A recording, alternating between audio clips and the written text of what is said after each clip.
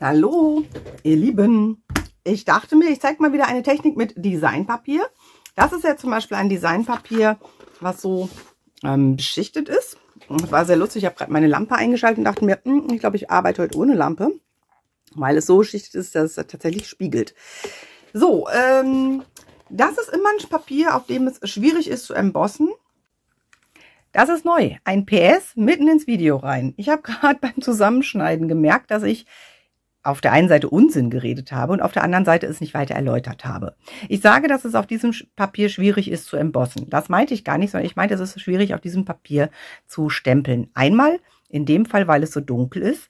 Dann wird es natürlich äh, spannend darauf zu stempeln. Dann ist dieses beschichtete Papier, da verwischt einem der Stempel. Also den muss man eigentlich embossen oder mit einem Archivstempelkissen arbeiten, um überhaupt darauf arbeiten zu können.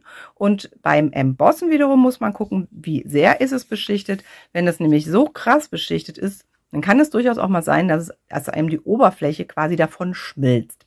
Also äh, probiert das am besten auf irgendeinem kleinen Reststück aus, was ihr, welches ihr eh abgeschnitten oder was ihr ausgestanzt habt. Und dann könnt ihr darauf testen und wenn es gut funktioniert, wunderbar.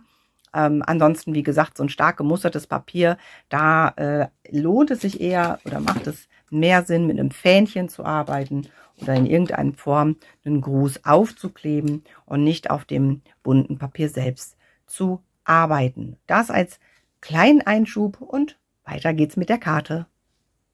Aber sowieso ist ja so ein Papier wunderschön, aber es ist halt schwierig, wie, was mache ich damit? Und das zeige ich euch heute. Ich zeige euch heute ein Kärtchen, wie man daraus äh, recht schnell, ich bin selbst gespannt, wie lang das Video wird, äh, recht schnell und simpel ein äh, niedliches Kärtchen basteln kann. Ich muss kurz darüber nachdenken, welche Maße ich schneide. Ich mach mal 13, nee, jetzt mache ich gerade 12,9. Das wollte ich gar nicht. Ich wollte schon 13,9 machen. 13,9. Kurz nachgedacht mal 9,6. Schneide hier gerade ein bisschen was ab. Dann ist die Kante sauberer. Mal 9,6. Und jetzt stanze ich dort ähm, einen Wellenkreis aus. Und wenn ihr habt, ganz wunderbar, dann nehmt, ähm, ich nehme euch jetzt mal näher ran, dann, äh, wenn ihr habt, dann nehmt gerne eure Schneidemaschine. Ich glaube aber, dass es weiter verbreitet ist, dass die Leute Stanzher haben, oder? Sagt mir das doch bitte einmal. Wer von euch hat eine äh, Stanz- und Prägemaschine und wer von euch hat eher Stanzer? Dann kann ich dann darauf entsprechend Rücksicht nehmen, wobei ihr, glaube ich, auch selbst ähm, das äh, entsprechend anpassen könnt. Also wenn ich jetzt hier mit ein Loch reinstanze, ist klar, dass ihr das natürlich auch selbstverständlich anders machen könntet. Ich überlege gerade, hierhin möchte ich stanzen. Ja, auch wenn da gerade sehr viele Herzchen sind, was ich gerade ein bisschen schade finde. Das macht aber nichts. Die kleben wir gleich einfach innen rein, dann passt es wieder. Ich stanze einfach einmal aus und nehme mir jetzt ein farblich passendes Papier. Und da habe ich mir das hier ausgesucht. Das ist so, so gülden ein wenig, aber nicht zu krass. Und brauche jetzt gar nicht so viel. Ich nutze mich markiere mir das gerade einmal, Stift. Also, ne, ich möchte das dahinter setzen. Das heißt, wenn ich hier schneide und hier schneide, dann kann man auch die andere Ecke nehmen. Also, wenn ich hier und hier schneide, reicht das eigentlich? Jetzt überlege ich gerade, wie ich es mache. Ich mache das anders. Also, ich habe das zwar markiert, aber ich mache mir noch eine andere Markierung. Und zwar markiere ich mir mal gerade so jeden zweiten Bogen. Das sollte ich auf der Rückseite machen. Mache ich das auf der Rückseite? Ja, ich mache das auf der Rückseite. Besser ist das. Auf der Rückseite markiere ich mir jeden zweiten Bogen. Also so ungefähr. Ne? Ich habe jetzt einfach keine Lust, ähm, zu viel zu machen. Es geht auch nur um die Orientierung. Es muss gar nicht ganz genau sein, nur dass ich ungefähr weiß, wo ähm, mein Wellenkreisstanzer ist. Und jetzt nehme ich mir einen ein bisschen kleineren ähm, Kreisstanzer und stanze da mehr oder weniger mittig. Es muss nicht perfekt sein. Meinen Kreis aus. Ne, ihr seht, das ist nicht perfekt, ist aber glücklicherweise hier auch gar nicht so wichtig, wenn ihr die Technik so macht, wie ich sie gerade beschreibe. Dann schneiden wir grob das einmal aus und können es jetzt dahinter kleben. Ich muss mal gerade einmal das wegradieren, was ich hier auf der Vorderseite markiert hatte. Das war nicht so pfiffig. Ihr nehmt einfach direkt die Rückseite. Und jetzt kann ich das einfach dahinter kleben und habe nochmal so einen kleinen Rahmen. Schaut mal, da habe ich sogar schon zu viel Rand. Da kann ich aber einfach noch ein bisschen was abschneiden. Dann passt das, hoffe ich. Ja, das klebe ich jetzt einfach einmal dahinter. Da, ich wollte gerade sagen, wo ist meine Klebe hin?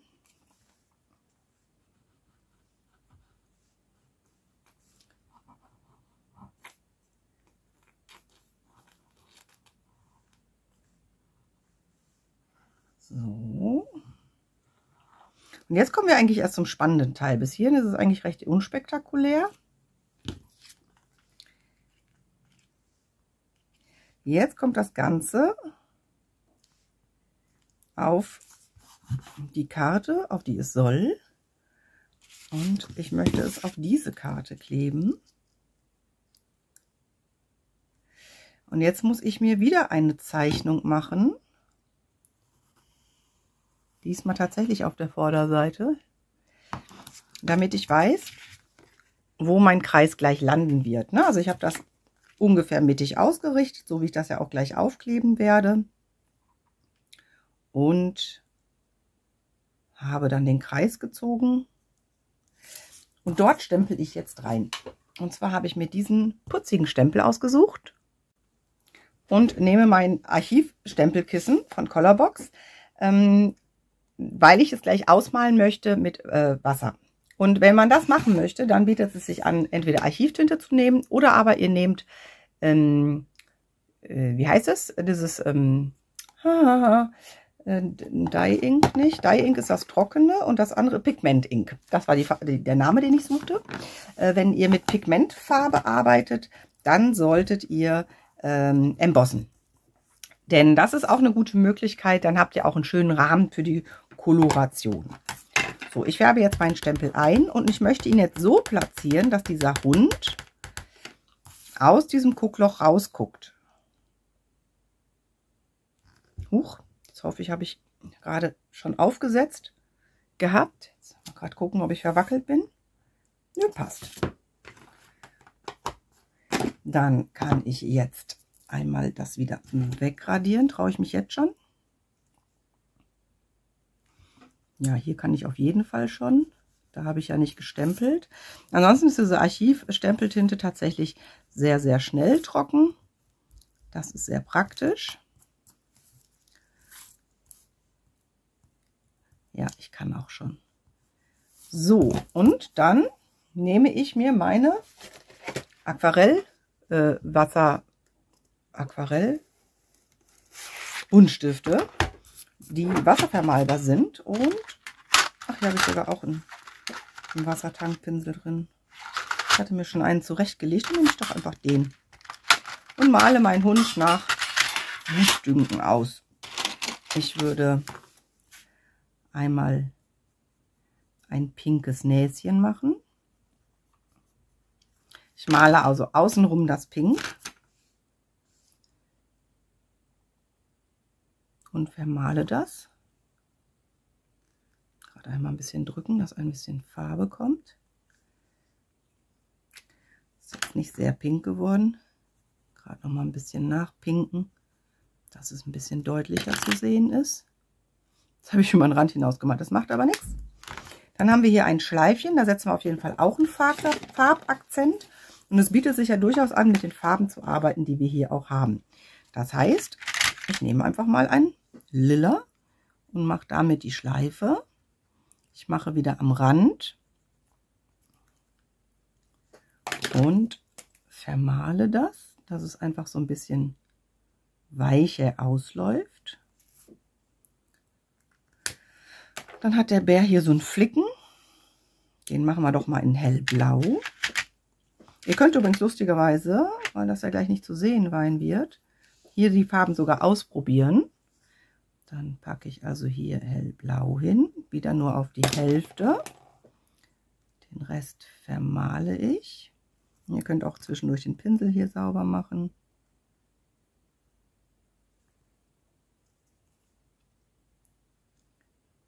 So. Und den Knopf in der Mitte machen wir dann in diesem Orangeton. Und den Hund machen wir aber, ich denke, in braunen Tönen. Und da können wir jetzt so ein bisschen spielen. Weil der muss ja, der kann ja fleckig sein, dieser Hund. Er kann einfach verschiedene Brauntöne haben. Das heißt, ich male jetzt hier am Rand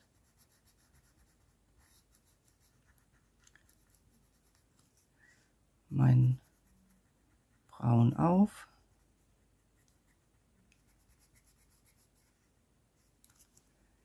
Ich glaube, ich habe noch mehr Brauntöne hier drin. Uh, das ist aber schon Weinrot. Deswegen immer ausprobieren, aber außerhalb des Kreises. Das ist schon eher ein Braun, ist aber auch mehr Weinrot. Na gut, dann habe ich nur zwei Brauntöne. Was ist das hier? Ist das dunkelbraun oder ist das schon schwarz? Ja, das ist noch ein Braunton. So. Bin jetzt gleich selbst gespannt, wie das so klappt mit dem Vermalen. So richtig viel kolorieren mache ich ja auch nicht. Ach so, jetzt kann ich, habe ich gar nicht drauf geachtet, bis wohin ich überhaupt malen brauche. Bis wohin denn das kleine Hundi zu sehen ist. Ich mache jetzt einfach mal. Lieber zu viel als zu wenig. So.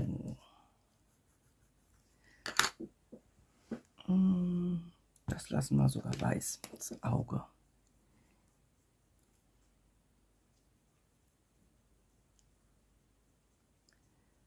Und dann nehmen wir den Wassertankpinsel und vermalen das nach innen.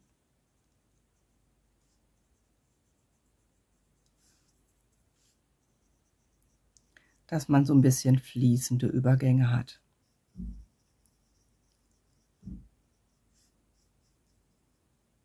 Gegebenenfalls zwischendurch den Pinsel einmal quasi sauber machen, indem man ihn so ausstreicht. Und ansonsten könnt ihr das so ausmalen.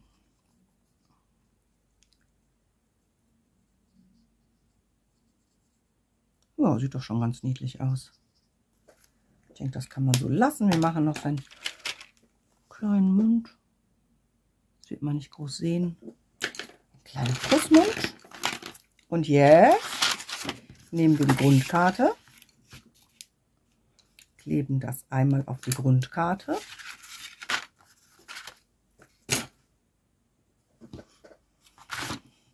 Bei wie vielen Minuten sind wir?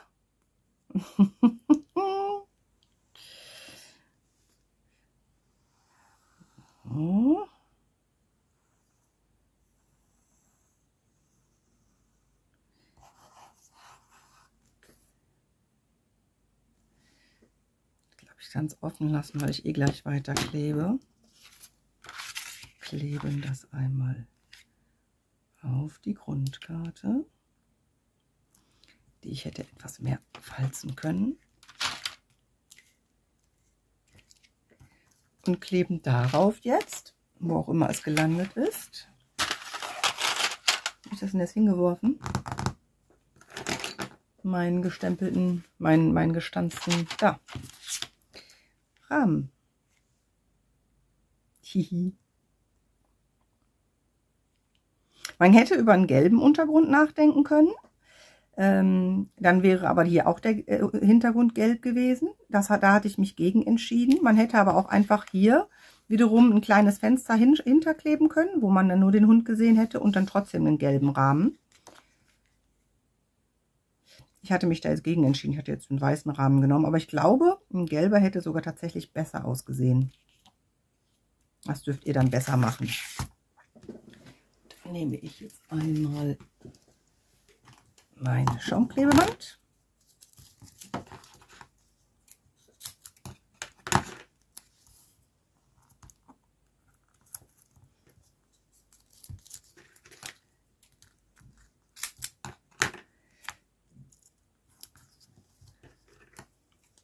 Ich wollte euch auch noch irgendwas erzählen zu euren Kommentaren und so weiter. Ich komme aber gerade nicht hinterher.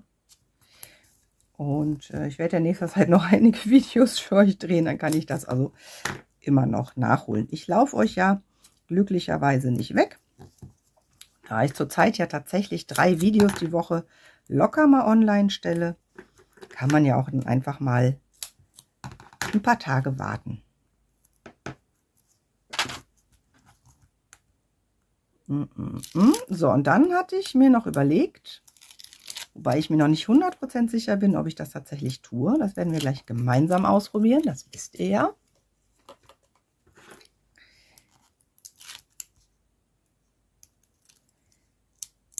Dass ich ähm, einen von den vorbereiteten, Doilies waren sie genannt worden, heißen sie so, ähm, benutze, weil hier kommen so viele Farben vor. Das ist so dankbar, dieses äh, Designpapier. Ich muss gerade einmal zu mir holen, sonst kann ich es nicht mittig kleben.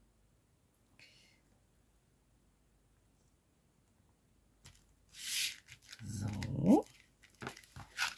Ist doch schon mal ganz niedlich, oder? Und ähm, ja, da könnte man jetzt einen, ich hatte auch schon einen rausgesucht nehmen und einen Gruß da stempeln. Aber wisst ihr was? Das gefällt mir schon wieder nicht. Ich würde hier nämlich gar keinen Gruß drauf bringen, sondern ich würde jetzt den Gruß reinbringen. Ich würde jetzt das Ausgestanzte, wo auch immer das hingesprungen ist, hm, das hier, das Ausgestanzte, den ausgestandenen Wellenkreis. Hier drin ist er nicht mehr. Den könnte man nämlich jetzt sehr schön hier reinbringen, auch zusammen mit dem, das ist vielleicht gar nicht verkehrt. Oder so. Aber das ist zu schade.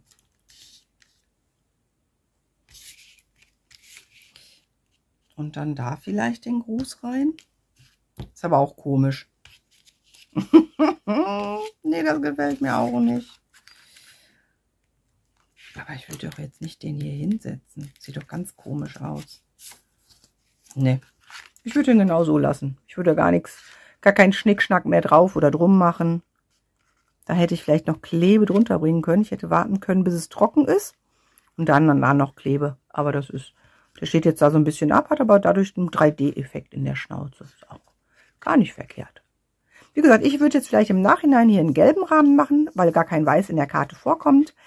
Hätte hier durchaus ein weißes Fenster gemacht, aber einfach so dahinter geklebt, wie ich das mit diesem Papier gemacht habe. Also die Technik ist sehr, sehr einfach und ich bin davon überzeugt, dass ihr bestimmt irgendwelche putzigen, niedlichen Stempel habt, die ihr auf diese Art perfekt in Szene setzen könnt. Ich denke noch kurz darüber nach, ob ich als vielleicht doch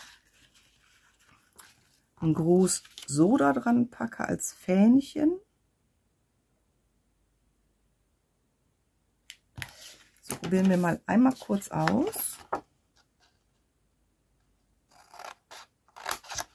Ob mir das gefallen könnte, wenn hier ein Fähnchen dran wäre. Nein, ich bleibe dabei. das Kärtchen bleibt so. Das war's von mir für heute. Und wenn es gut klappt, nehme ich heute noch das Buchvideo auf und stelle es dann wann auch immer online. Bis dann. Tschüss.